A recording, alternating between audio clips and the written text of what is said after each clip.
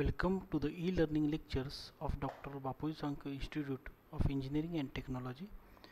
Today, under the subject Emerging Trends in Civil Engineering, we are going to learn the topic Modern Construction Materials. So these are some building materials which are used uh, recently for the construction work. Those are artificial sand, sensitile, carbon fiber, cigarette butt bricks, 3D printed bricks, translucent wood, laminated timber and 3D tiles. So the first advanced uh, construction material is uh, artificial sand. तर artificial sand किंवा त्याला क्रस sand असं म्हणतात the artificial sand produce by proper machines can be a better substitute to a river sand sand should be sharp clean and coarse. The grains should be of durable size. The grain sizes must be such that it should give minimum voids. The presence of clay and silt retards the setting of cement and makes the mortar weaker and the walls or the slab leaks and holds dampness. तर जसं आपल्याला माहीत आहे की सध्याच्या परिस्थितीमध्ये natural sand जी आहे त्याच्या शॉर्टेजमुळं बऱ्याचशा सिव्हिल इंजिनियर्सचा आर्टिफिशियल आर्टिफिशियल सँड म्हणजे क्रस सँड जी आहे त्याचे यूज करण्याकडे कल जास्त आहे. तर ही जी आर्टिफिशियल सँड असते ती हार्ड स्टोनपासून तयार केली जाते. तर हार्ड स्टोन कुठले? तर साधारणतः ग्रॅव्हल हे त्यासाठी यूज केलं जातं. तर हे यूज करताना किंवा त्याचं मॅन्युफॅक्चरिंग करताना जो फायनल प्रॉडक्ट आपल्याला मिळतो तर त्याचे जे ग्रेन्स असतात म्हणजे त्याचे जे पार्टिकल्स असतात ते पार्टिकल साईज ही युनिफॉर्म असली पाहिजे.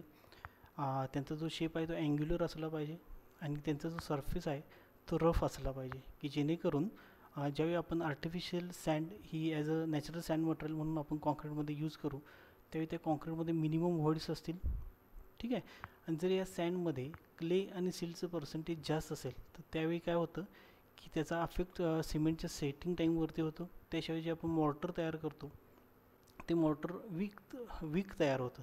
त्यामुळे वॉल्स आणि स्लॅब यांना लिकेज होण्याची शक्यता असते. तर आर्टिफिशियल सँड तयार करताना ज्यावेळी क्रशर प्लांटमध्ये आपण जर बघितलं तर त्यामध्ये raw material as a gravel use केलं जातं. त्यानंतर ते व्हायब्रेटिंग फिडरला पाठवलं जातं. तिथे त्याचं व्हायब्रेशन्स करून त्यातले जे काही डर्ट पार्टिकल्स असतील ते रिमूव्ह केले जातात. त्यानंतर जॉ क्रशर आणि इम्पॅक्ट क्रशरला त्याचं क्रशिंग केलं जातं वेगळ्या वेगळ्या पार्टिकल साईजला पुन्हा त्याचं व्हायब्रेटिंग स्क्रीननुसार त्याचं क्लासिफिकेशन केलं जातं त्याच्या सायझेसनुसार पुन्हा त्याला सँड मेकिंग मशीनमध्ये पाठवलं जातं. तिथं त्याच्यापासून सँड आर्टिफिशियल सँड तयार केली जाते. पुन्हा एकदा त्याचं व्हायब्रेटिंग स्क्रीनमध्ये त्याची जी काही इम्प्युरिटीज असतील त्या इम्प्युरिटीज रिमूव्ह केले जातात. त्यानंतर त्याला सँड वॉशरला पाठवलं जातं. तिथं त्या सँडचं प्रॉपर वॉशिंग होतं. आणि त्यानंतर आपल्याला आर्टिफिशियल सँड हा फायनल प्रॉडक्ट मिळतो. Artificial sand must be of proper gradation with minimum voids म्हणजे आपण जे आर्टिफिशियल सँड तयार करतो त्यामध्ये प्रॉपर ग्रेडेशन असलं पाहिजे की जे आपल्याला माहीत आहे की जे फाईन ॲग्रिगेट्स असतात त्याची साईज ही साधारणतः four point seventy five M एमपेक्षा कमी असते. तर त्यानुसार त्याचे वेगळ्या वेगळ्या ग्रेन्सनुसार त्याचं क्लासिफिकेशन केलं जातं आणि ही सँड आपण ॲज अ नॅचरल सँड म्हणून यूज करू शकतो. तर त्यामध्ये वेगळ्या वेगळ्या आय एस सीव्ज वापरल्या जातात. त्या सीव्ज कुठल्या? तर I S sieves of sizes ten M M four point seventy five M M two point thirty six M M one point one eight M M 600 micron 300 micron 150 micron are used to check the quality of the sand the artificial sand should have the cubical particles जे त्याचे particles हे cubical शेपमध्ये असले पाहिजे किंवा spherical particles असले पाहिजेत आणि that can be used for all types of construction work second construction material is a sensitiles The sensitiles are made of decorative resins, glass and terrazzo material. These materials are composed of microconcrete with embedded light guides. They are available in precast slabs or tiles or customized as per the project requirements. These tiles can be installed on horizontal as well as vertical surfaces. These tiles can be drilled or cut like any stone products using diamond tooling.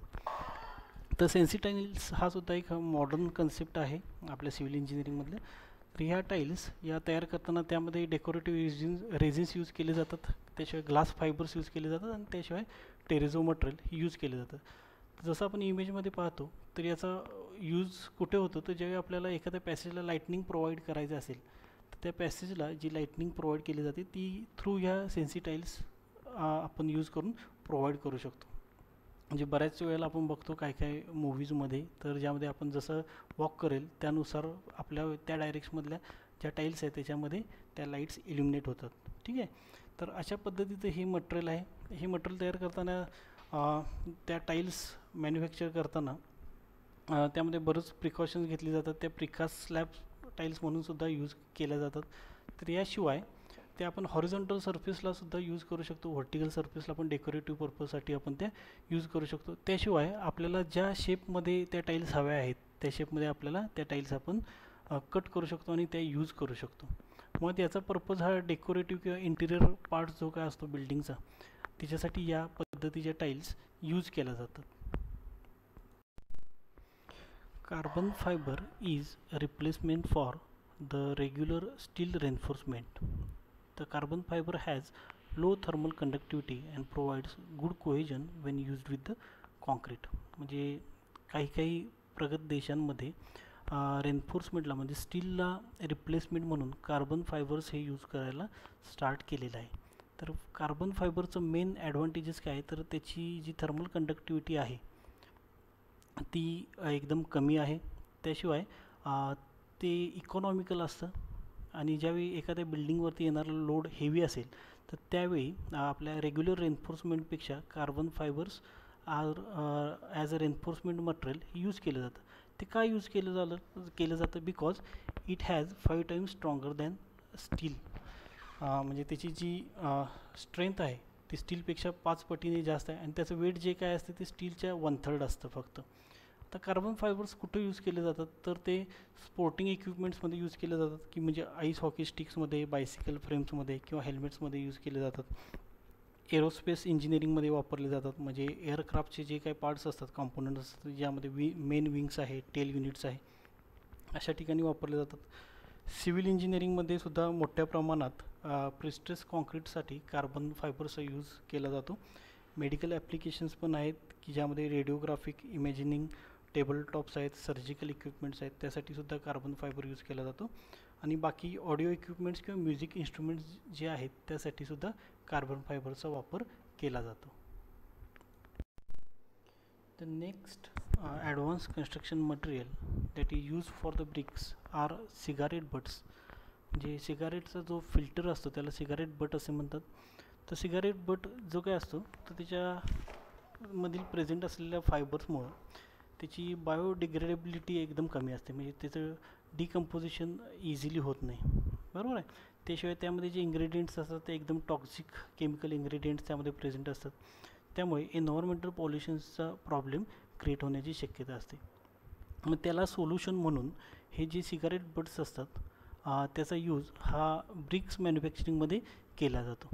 तर त्याचं percentage हे very होत जातं. त्याचा जो काही purpose असतो त्यानुसार किती पर्सेंटेज ऑफ आपण ते सिगारेट बड्स त्या ब्रिक मॅन्युफॅक्चरिंगमध्ये यूज करणार आहे ते त्या पर्पजवरती डिपेंड असतं. म्हणजे the cigarette butt bricks are produced by blending cigarette butt with mixer of material use for the brick production this is an innovative and practical solution for the pollution problem cause by the cigarette butt disposal the percentage of cigarette butt ad addition is based on the purpose for which bricks are being used. This is because a high percentage of cigarette butt would lead to reduction of brick dry density and compressive strength. तर या cigarette बटचा जो main advantages असतो म्हणजे cigarette बटपासून ज्या BRICS आपण तयार करतो त्याचा मेन ॲडव्हान्टेजेस आपल्या कन्स्ट्रक्शन इंडस्ट्रीमध्ये कुठला असतो तर त्या ब्रिक्सचं डेड लोड एकदम कमी असतं त्यामुळे त्याचं हँडलिंग पण एकदम इझी होऊ शकतं त्याची ट्रान्सपोर्टेशन कॉस्ट एकदम कमी असते आणि त्या ब्रिक्सची थर्मल कंडक्टिव्हिटीसुद्धा कमी असते. मग त्यातून जो काही हीट ट्रान्सफर असतो ते हीट ट्रान्सफर अगदी मिनिमम होतं. त्यामुळे ब्रिक्स ऑफ सिगारेट बड्स हा एक मॉडर्न टाईपच्या ब्रिक्स आहेत. त्याचा यूज आपण ॲज अ नॉर्मल ब्रिक्स हा कन्स्ट्रक्शन मटेरियलमध्ये करू शकतो. तर सिगारेट बट ब्रिक्सचे ॲडव्हान्टेजेस काय आहेत? तर it gets the waste out of the environment म्हणजे एन्व्हायरमेंटमध्ये जे वेस्ट क्रिएट होतं ते आपण थोड्याफार अमाऊंटमध्ये मिनिमाइज करू शकतो.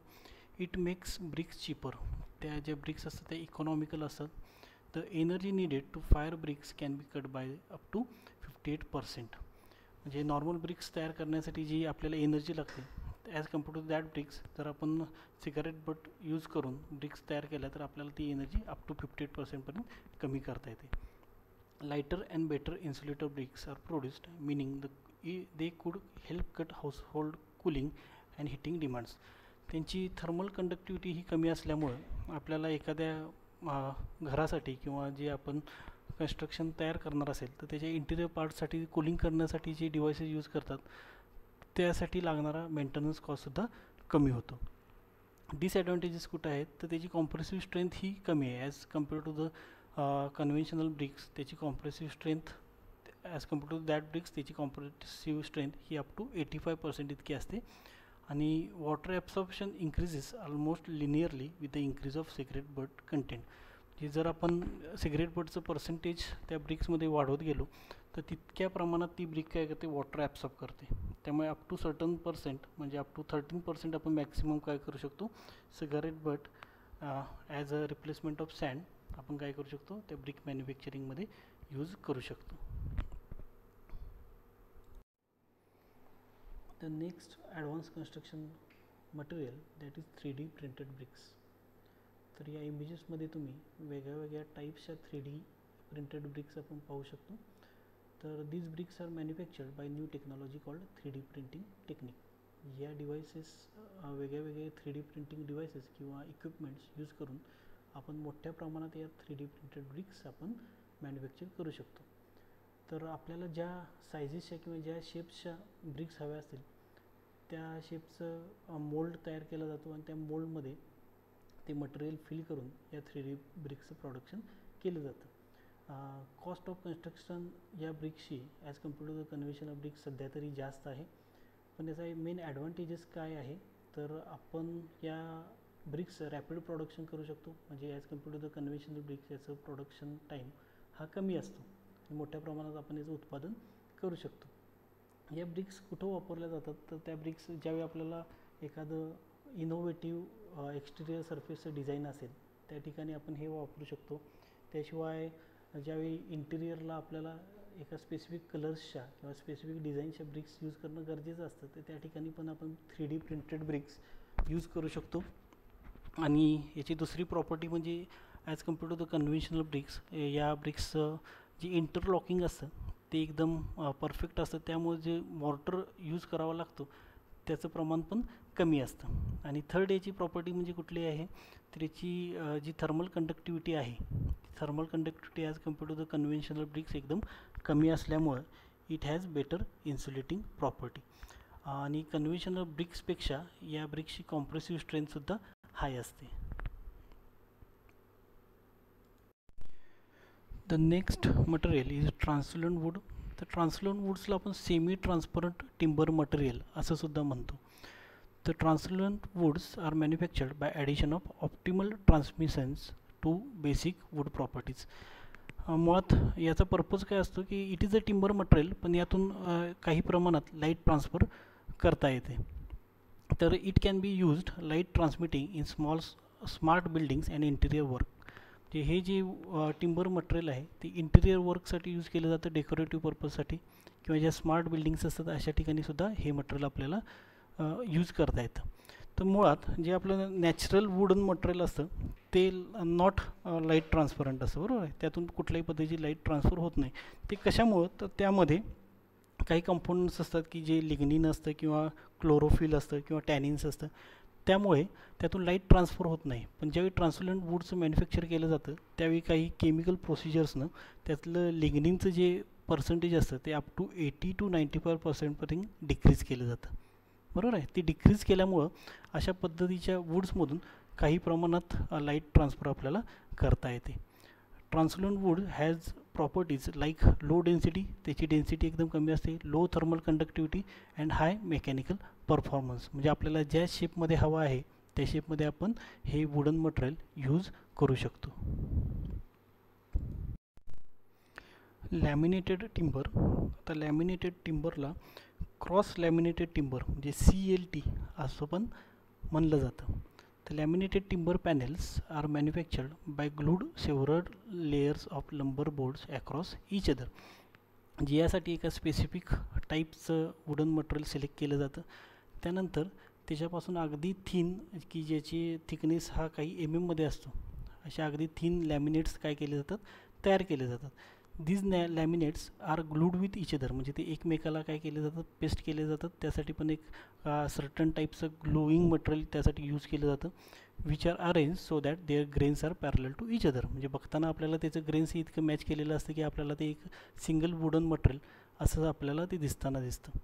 त्याची प्रॉपर्टी काय असते तर it has a elastic property and various mechanical property त्याला इलेस्टिसिटी पण असते त्याशिवाय मेकॅनिकल प्रॉपर्टीज पण असतात. त्याशिवाय त्याची लोड कॅरिंग कपॅसिटी जी काय असते ती आपल्या आर सी सीपेक्षा जास्त असते. त्याचा जो काही लुक असतो म्हणजे अस्थेटिकल व्ह्यू असतो तो पण अगदी दिसायला सुंदर असतो आणि प्लेझंट असतो. त्याशिवाय अशा टाईपचं जे मटेरियल आहे लॅमिनेटेड टिंबर मटेरियल ते आपण एक्सटेरियर पोर्शनला आपण या इमेजेसमध्ये दाखवलं त्या पद्धतीने आपण ते यूज करू शकतो. आणखी काही काही वेळेला हे जे लॅमिनेटेड टिंबर मटेरियल आहे त्याचा यूज हा त्या स्ट्रक्चरल मेंबर्ससाठी पण बिल्डिंगच्या पण यूज करू शकतो. म्हणजे त्यापासून आपण कॉलम्स आणि बीम्स तयार करून ते सुद्धा आपण या स्ट्रक्चरमध्ये यूज करू शकतो. The last advance construction material is a three D printed tiles these tiles are produced by using three D printing technology म्हणजे तुम्ही जर या इमेजमध्ये पाहिला तर ह्या वेगळ्या वेगळ्या शेपच्या सायझेसच्या या थ्री डी प्रिंटेड टाईल्स आहेत. यासाठी सुद्धा three D printing devices use केले जातं. त्यासाठी स्पेशल टाईपचं मटेरियल यूज केलं जातं. या टाईल्सचं जर काय ॲडव्हान्टेजेस बघितलं तर this tiles are abrasion resistance म्हणजे त्या स्क्रॅच प्रूफ असतात स्क्रॅच रेजिस्टन्स असतात. त्यावरती केमिकलचा कुठलाही इफेक्ट होत नाही. आणि it has a डायमेन highest dimensional accuracy म्हणजे त्या स्वतः आपण मॅन्युफॅक्चर केल्यामुळं तशा आपल्याला सायझेस आणि शेपमध्ये हवे आहेत. त्या पद्धतीने आपण त्या मॅन्युफॅक्चर करू शकतो. त्यामुळे ते जेव्हा आपण as a flooring material use करतो तेव्हा त्याची ॲक्युरसी जास्त असते. These tiles are available in different shapes with smooth or colourful surfaces आपल्याला ज्या सर्फेसेस म्हणजे ज्या साईजमध्ये हव्या आहेत ज्या शेपमध्ये हव्या आहेत ज्या कलरमध्ये हव्या आहेत त्याशिवाय त्याचा सरफेस आपल्याला स्मूथ पाहिजे की रफ पाहिजे अशा पद्धतीनं आपण वेगळ्या वेगळ्या पद्धतीच्या three D printed tiles manufacture करू शकतो. आता या टाईल्स कुठे यूज केल्या जातात? तर it can be used in hotels restaurants residencies and corporate offices या ठिकाणी या three D printed tiles use केल्या जातात.